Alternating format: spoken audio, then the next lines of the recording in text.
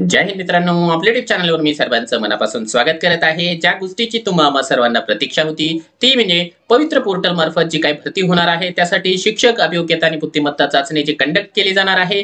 त्या अभियोग्यता आणि बुद्धिमत्ता चाचणीच्या संदर्भामध्ये जे आहे ऍक्च्युअल परीक्षा कशी होणार आहे त्याच्या संदर्भामध्ये नोटिफिकेशन प्रसिद्ध करण्यात आलेलं आहे. त्याविषयी आपण सविस्तर माहिती आजच्या या व्हिडिओच्या माध्यमातून जाणून घेणार आहोत. परंतु तत्पूर्वी आपण जर चॅनलवर नवीन असाल तर आमचं चॅनल सबस्क्राईब करा साईडचा जे बेल आयकॉन आहे त्याला देखील प्रेस करा.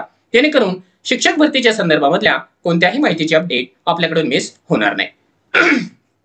चला तर मित्रांनो आपण सुरू करूया. काय आहेत सूचना? कशा प्रकारे आपल्याला त्या बघायच्या आहेत? बघा आपण जे आहे एम एस सी पुणे याच्या ऑफिशियल वेबसाईटला जर का व्हिजिट केलं तर आपल्याला या ठिकाणी जे आहे शिक्षक अभियोग्यता व बुद्धिमत्ता चाचणी याच्या अंतर्गत जे आहे नवीन ज्या काही सूचना आहेत अभियोग्यता व बुद्धिमत्ता चाचणी टेट दोन हजार बावीस ऑनलाईन परीक्षेबद्दल जी आहे माहिती त्यांनी दिलेली आहे. त्याच्यावर जर आपण क्लिक केलं तर आपल्यासमोर जे आहे एक पीडीएफ मित्रांनो या ठिकाणी डाउनलोड होते आहे. या पीडीएफनुसार आपल्याला जे आहे संपूर्ण अनालिसिस येणाऱ्या अभियोग्यता आणि बुद्धिमत्ता चाचणीचं करून देण्यात आलेलं आहे. त्याचा आपण जे आहे तपशीलवार पद्धतीने माहिती बघूया. बघा हे जे पत्र आहे महाराष्ट्र राज्य परीक्षा परिषद पुणे यांच्या वतीनं देण्यात आलेलं आहे. इश्यू करण्यात आलेला आहे. काय सांगितलंय? बघा याच्यामधला एक एक पॉइंट एवढा जास्त महत्त्वाचा आहे की त्याच्यावर आपलं सगळं भविष्य अवलंबून असणार आहे. कारण जे आहे एक एक पॉइंटमध्ये सगळ्या गोष्टी त्यांनी क्लिअर केलेल्या आहे आणि एक इंटरेस्टिंग गोष्ट देखील या व्हिडिओच्या माध्यमातून तुमच्यापर्यंत मी पोहोचवणार आहे. त्याच्यामुळे शांत चित्ताने एकदा हा जो संपूर्ण व्हिडिओ आहे पूर्ण अनालिसिस होईपर्यंत तुम्ही सर्वांनी शांतपणाने पहावा अशी माझी इच्छा आहे. बघा शिक्षक अभियोग्यता बुद्धिमत्ता चाचणी दोन हजार बावीस ऑनलाईन परीक्षेसाठी माहिती पुस्तिका. यामध्ये उमेदवार देणार असलेल्या ऑनलाईन परीक्षेच्या विविध पैलूंचा तपशील आणि संबंधित बाबी संदर्भामध्ये महत्त्वाच्या सूचना या पुस्तिकेमध्ये आहे. ठीक आहे? परीक्षेची तयारी करण्यात मदत व्हावी म्हणून उमेदवारास या पुस्तिकेचे नीट अध्ययन करण्यास सुचवले जात आहे. खाली दर्शवल्याप्रमाणे ऑनलाईन परीक्षेत वस्तुनिष्ठ स्वरूपाच्या बहुपर्यायी प्रश्नावल्या असतील. बघ आता जो सिलेबस आहे आपण अगोदर सांगितल्याप्रमाणे अभियोग्यता याला एकशे वीस प्रश्न म्हणजेच जे आहे एकशे वीस मार्क्स म्हणजे एका प्रश्नाला एक मार्क्स आणि त्यासाठी देणारा जो वेळ आहे तो एकशे वीस मिनिटे आहे. म्हणजे अभियोग्यता एकशे वीस आणि बुद्धिमत्ता या घटकाला ऐंशी. म्हणजे दोनशे प्रश्न आणि दोनशे गुण आणि त्याला एकूण जो कालावधी आहे तो असणार आहे दोनशे मिनिटांचा म्हणजे दोन हजार सतराचा जो क्रायटेरिया आहे तो ऍज इट इज फॉलो करायचा आहे. त्यामध्ये कोणताही बदल करण्यात आलेला नाही. म्हणजे सिलेबसचं रिपिटेशन होणार आहे. आणि एक गोष्ट या ठिकाणी लक्षात घ्या मित्रांनो कदाचित जे आहे काठिण्य पातळी देखील ऍज इट इज दोन हजार सतराची राहण्याची दाट शक्यता आहे. इथे मी शक्यताच सांगत आहे. कारण वेळ कमी असल्यामुळे म्हणजे दोनशे प्रश्न आणि एकशे वीस मिनिटं असा हा कॅल्क्युलेशन असल्यामुळे कदाचित जे आहे फार जास्त डिफिकल्टी लेवल असणार नाही असं वाटत आहे. पुढे त्यांनी काय दिलं बघा? परीक्षेसाठी एकशे वीस मिनिटांचा अवधी आहे. तरी सुद्धा उमेदवारास परीक्षा असताना साधारणतः एकशे ऐंशी मिनिटे थांबावे लागेल. ज्यामध्ये नोंद होणे म्हणजे लॉग इन करणे प्रवेशपत्र गोळा करणे सूचना देणे इत्यादीसाठी लागणाऱ्या कालावधीसाठी समावेश आहे.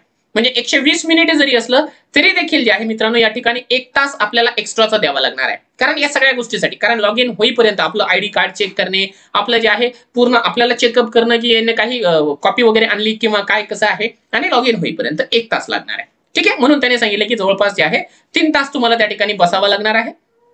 त्यामध्ये भाषिक क्षमता इंग्लिश आणि भाषिक क्षमता मराठी याच्या व्यतिरिक्त सर्व प्रश्नावल्या उमेदवाराने अर्ज भरतेवेळी निवडलेल्या द्विभाषी माध्यमात म्हणजे दोन भाषा कोणत्या होत्या? एक तर मराठी इंग्लिश किंवा उर्दू इंग्लिश. या दोन्हीपैकी तुम्हाला त्या त्या भाषेमधून असणार आहे. म्हणजे फक्त मराठीचे प्रश्न मराठीमध्येच असेल ते इंग्लिशमध्ये नसणार इंग्लिशचे प्रश्न हे इंग्लिशमध्येच असणार ते मराठीत नसणार. आले लक्षात? बाकी जो उर्दूवाल्यांचा प्रॉब्लेम आहे उर्दूवाल्यांना उर्दू भाषा नाहीच आहे. म्हणजे उर्दूवाल्यांना उर्दू हा विषय नाहीये. सगळे प्रश्न त्यांना उर्दूमध्ये मिळतील. त्यानंतर दिलेल्या एकशे वीस मिनिटांच्या कालावधीत उमेदवार कोणत्याही प्रश्न सोडवू शकतात. म्हणजे मागे पुढे करता येतं स्किप करता येईल. सर्व प्रश्नांना बहुपर्याय असतील चार चार ऑप्शन असतील. प्रश्नासाठी चार उत्तरांपैकी एकच अचूक उत्तर असणार आहे. उमेदवारास सर्वाधिक अचूक उत्तराची निवड करायची आहे आणि उमेदवारास वाटत असलेल्या योग्य अचूक पर्यायावर माऊस क्लिक करायचा आहे. म्हणजे परीक्षा ऑनलाईन असणार त्याच्यामुळे माऊसच क्लिक करावा लागणार आहे. जसं मी इथे जे हा जो माऊस फिरवतोय त्याच पद्धतीने. उमेदवाराने क्लिक केलेला पर्याय ठळकपणे दर्शवला जाईल आणि त्याच उमेदवाराने त्या प्रश्नाचे उत्तर म्हणून गणले जाईल. बघा जेव्हा तुम्ही एकदा क्लिक कराल त्यावेळेस जो उत्तर दिले तो थोडस बोल्ड होईल. बाकीचे नॉर्मल फॉन्टमध्ये असणार आहे.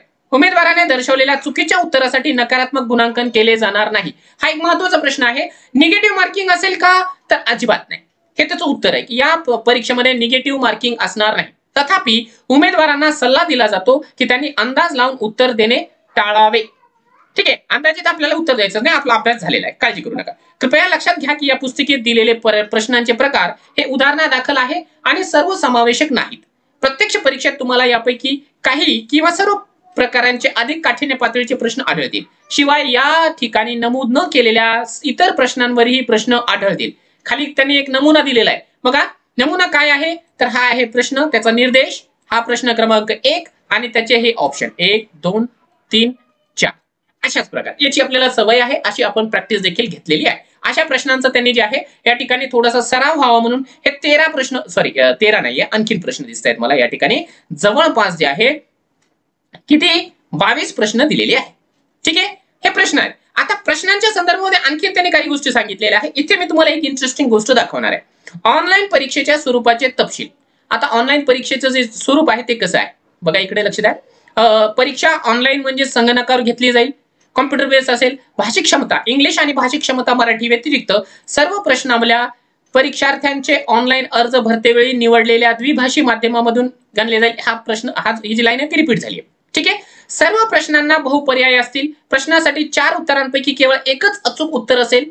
विद्यार्थ्याला अचूक उत्तराची निवड करायची असून जो पर्याय उचित अचूक वाटतो त्या पर्यायावर माऊस क्लिक करायचा आहे. आणि पुढे काय करायचं आहे सेव्ह अँड नेक्स्ट वर करायचा किंवा मार्क फॉर रिव्ह्यू करायचा दोन्हीपैकी एक केलं तर चालतं. सर्व्हरमध्ये घड्याळ लावलेले आहे. म्हणजे स्क्रीनवर तुम्हाला घड्याळ दिसेल. तुमच्या संगणकाच्या पटलावर वरच्या बाजूस कोपऱ्यात उर्वरित वेळ दाखवला जाईल. म्हणजे रिमेनिंग वेळ किती आहे ते दाखवला जाणार आहे. पूर्ण करण्यासाठी शिल्लक राहिलेली वेळ दर्शवेल. जेव्हा घड्याळाची वेळ संपेल तेव्हा परीक्षा आपोआप बंद होणार आहे सबमिट होऊन जाणार आहे. तुम्हाला स्वतःहून परीक्षा संपवण्याची किंवा थांबवण्याची आवश्यकता नाही. त्यावरून एक गोष्ट लक्षात येते. परीक्षा संपण्याच्या अगोदर जरी तुमचा पेपर संपला म्हणजे वेळेच्या अगोदर तरी तुम्हाला सबमिट करता येणार आहे. परीक्षा ऑटोमॅटिकली कंप्लीट होणार आहे.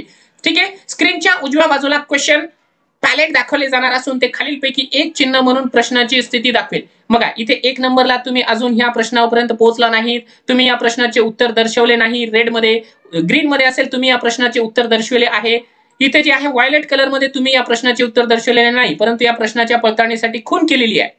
आणि तुम्ही या प्रश्नाचे उत्तर दर्शवलेले आहे परंतु पडताळणीसाठी त्यावर खून केलेली आहे. आता हे तोंडी तुम्हाला लक्षात येत नसेल. मी तुम्हाला एक डेमो दाखवतो. आपण जी काही या ठिकाणी मित्रांनो एकच मिनिट तुम्हाला एक इंटरेस्टिंग गोष्ट दाखवतो. हे बघा ही आहे आपली टेस्ट ठीक आहे? ही आपली मिशन टेट ऑनलाईन टेस्ट आहे. मी तुम्हाला जशी IBPS चा पॅटर्न आहे याच पद्धतीने दर्शवलेली आहे. आणि असंच त्यांनी जे नोटिफिकेशनमध्ये दिलेलं आहे. बघा इकडे लक्ष द्या. बघा काय असणार आहे? तर बघा माऊस कुठे गेलाय? हा हा आपला प्रश्न. ठीक आहे? मार्क फॉर रिव्ह्यू ह्या इकडे दिसते माऊसवर लक्ष ठेवा. त्यानंतर इकडे टाइम लेफ्ट दाखवते तिथेही त्यांनी तसंच दिलंय. आणि हा जो क्रायटेरिया आहे ना हे हे रेड रंगामध्ये नॉट अँसर हे ग्रीन मध्ये अँसर इथं mark for review not visited हा संपूर्ण आराखडा जे आहे मित्रांनो तिकडेही देण्यात आलेला आहे. त्याच्यामुळे आपली जे जर का टेस्ट सिरीज तुम्ही एकदा सोडवली म्हणजे तुम्ही आयबीपीएस ची भीती मनातून घालून टाका. तुम्हाला आयबीपीएस चा सराव मिळालेला आहे हे लक्षात घ्या. यानंतर इथे जे दिसते तुम्हाला टेस्ट नंबर वन ते इथे जे आहे मित्रांनो तुम्हाला जो काही प्रश्न आहे त्या प्रश्नावरती स्किप करता येणार आहे. हे बघा अठ्ठावीस नंबरचा एकोणतीस नंबरचा प्रश्न. हे बघा हे तुम्हाला काय करता येणार आहे या ठिकाणी जे आहे स्किप करता येणार आहे. प्रश्न कोणते राहिले? हे बघा इथे जर का तुम्ही समजा क्लिक केलं समजा याच्या चाळीस वर्षावर क्लिक केलं तर लक्षात घ्या जो ज्या प्रश्नावरती तुम्ही क्लिक करणार आहात समजा ह्याचं उत्तर दिलं तर इकडे ग्रीन झालेलं आहे. हे बघा तिथे तसंच असणार आहे. ही नोटिफिकेशन आपल्याला काय सांगायली? तिकडेही तीच गत असणार आहे. त्याच्यानंतर समजा तुम्ही इकडे व्हिजिट केलं पण त्याचं उत्तर दिलं नाही. त्यानंतर तुम्ही तीन वर गेला तर हे बघा तीनचं उत्तर दिलं. तर एक नंबरचं ग्रीन झाला दोन नंबरचं उत्तर दिलं नाही म्हणून रेड राहिलेला आहे तीन नंबरचं दिलेलं आहे.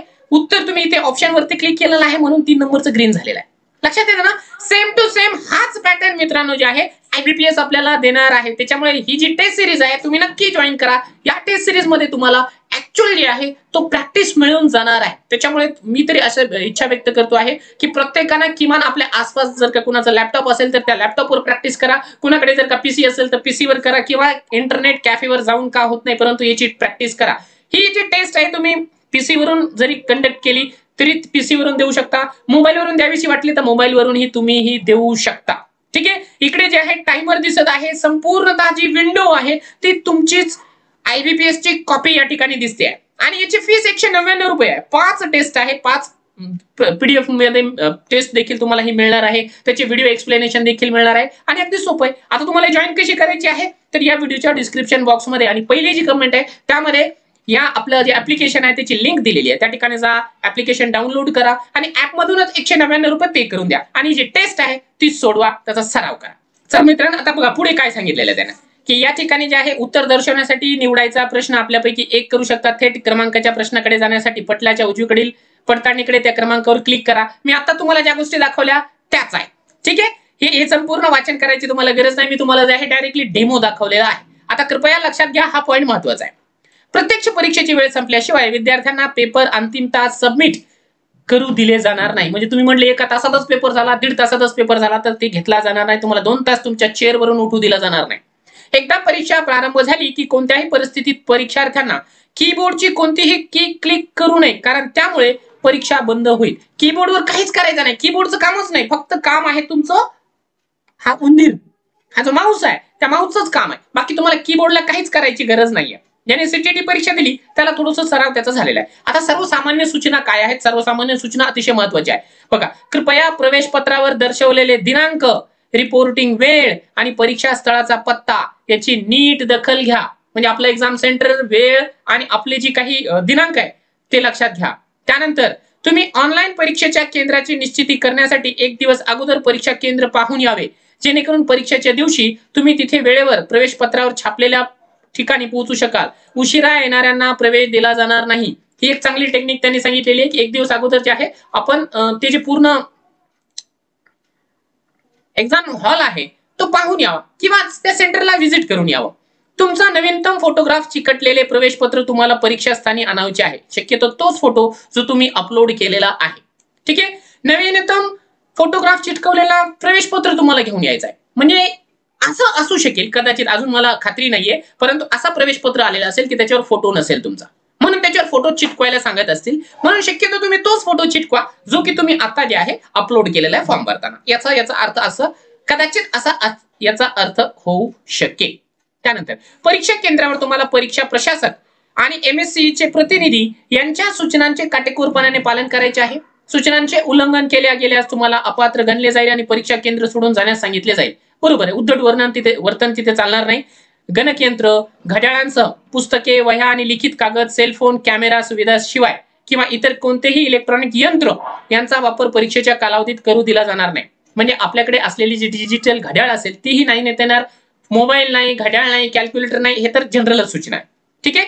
कृपया आपल्यासोबत नवीनतम फोटो चिटकवलेले प्रवेश पत्र आणि सध्या वैध मूळ स्वरूपातील फोटो ओळखपत्र जसे की पॅन कार्ड पारपत्र ज्याला की आपण काय म्हणूया?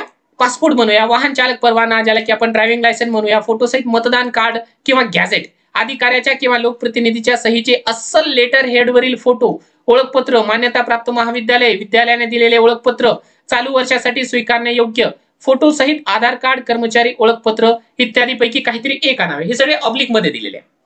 म्हणजे एकंदरीत जे आहे आपलं राशन कार्ड राशन कार्डचं नाही पण पॅन कार्ड आधार कार्ड किंवा तुमचं पारपत्र किंवा एखाद्या कॉलेजचा फोटो आयडी देखील तुम्हाला चालेल असं त्यांनी या ठिकाणी सांगितलेलं आहे. फोटो ओळखपत्रावरील नावाशी तंतोतंत जुळायला हवं.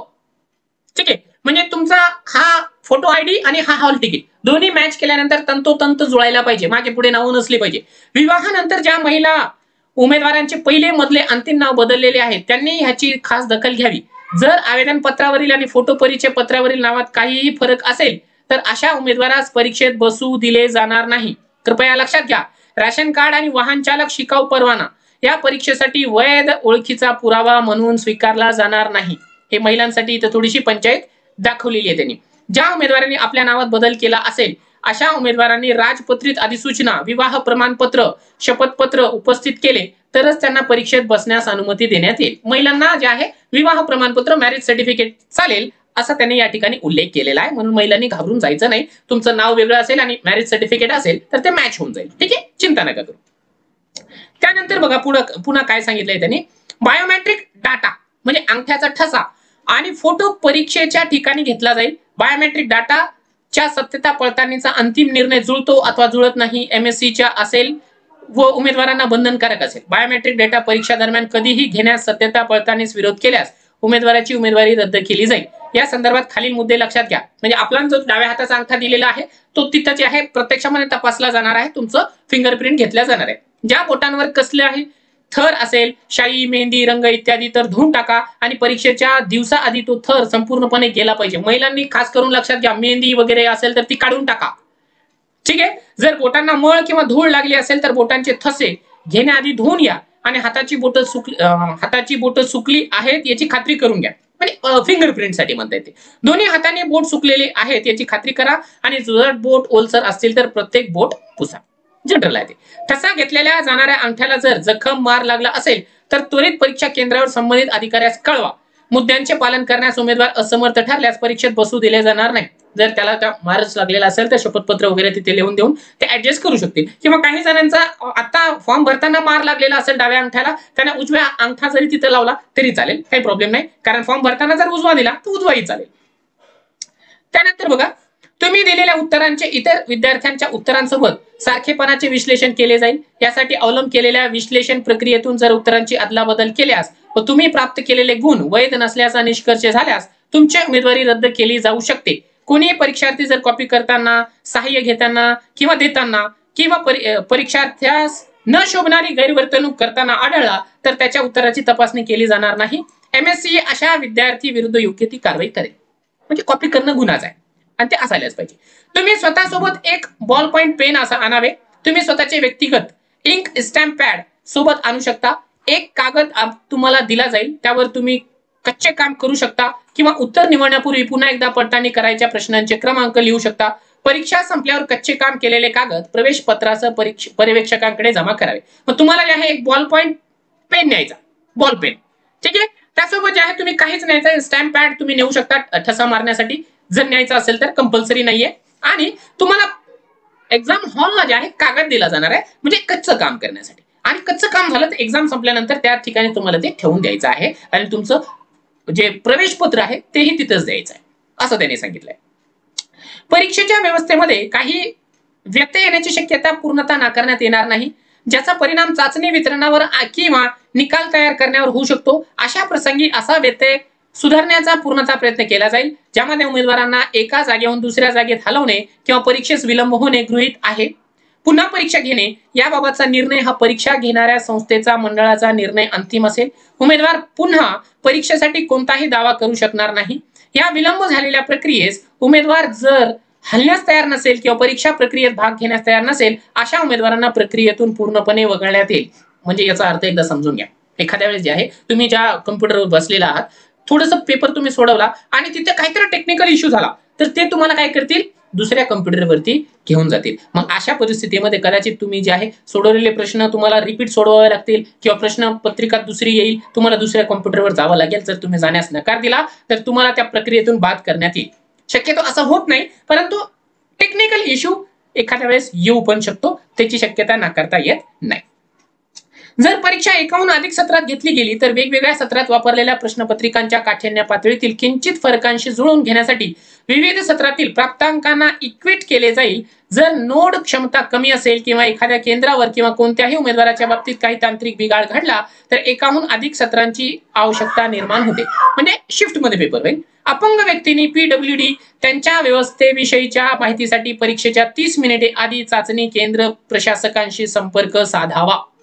ठीक आहे जे दिव्यांग प्रवर्गाचे उमेदवार आहेत त्यांनी जे आहे त्यांची व्यवस्था वगैरे व्यवस्थित लावायची असेल तर अर्धा तास अगोदर परीक्षकांशी संपर्क साधायचा कृपया नोंद घ्या एक विद्यार्थी केवळ एकदाच परीक्षा देऊ शकतो. एकापेक्षा अधिक वेळा परीक्षा दिल्यास उमेदवारी रद्द करण्यात येईल. जर परीक्षार्थी एकापेक्षा अधिक प्रवेश पत्र प्राप्त झाले असतील तर तुम्ही प्रवेश पत्रावर दिल्या दिलेल्या दिनांक आणि वेळेनुसार केवळ एकदाच परीक्षा देऊ शकता. यावरून एक गोष्ट आपल्याला थोडीशी लक्षात यायला लागलेली आहे की एका उमेदवाराने जर दोन दोन तीन तीन फॉर्म भरले तर कदाचित जे आहे तीन तीन प्रवेश पत्र त्याला येऊ शकतात.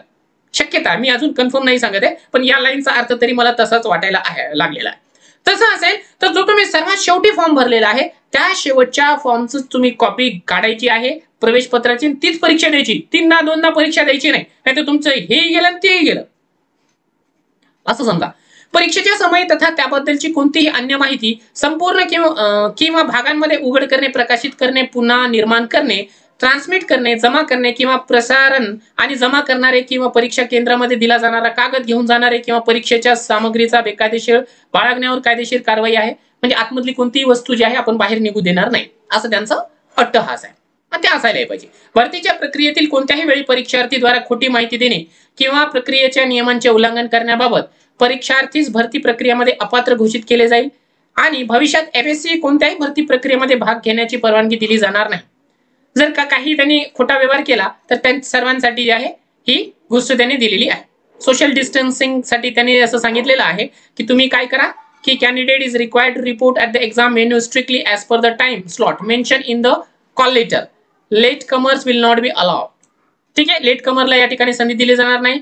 Candidate will be permitted to carry only certain items with them into the venue त्यांनी मास्क असायला पाहिजे. मास्क आणायला असलं आणलेला असला पाहिजे. पर्सनल हँड सॅनिटायझर असलं पाहिजे. सिंपल पेन आणि इंक असायला पाहिजे. एक्झाम रिलेटेड डॉक्युमेंट्स फक्त असायला पाहिजे. In case of scribe candidate scribe from duly fill the sign with photograph affixed no other item are permitted ठीक आहे? त्यांनी अशा प्रकारच्या गोष्टी सांगितलेल्या आहेत. Candidate should not share any of their personal belonging material with any one आणि candidate should maintain safe social distancing row मध्ये यायला पाहिजे रांगेत उभं राहायला पाहिजे. Candidate in availing service of a scribe then scribe also should bring their own mask स्वतःचं mask आणा.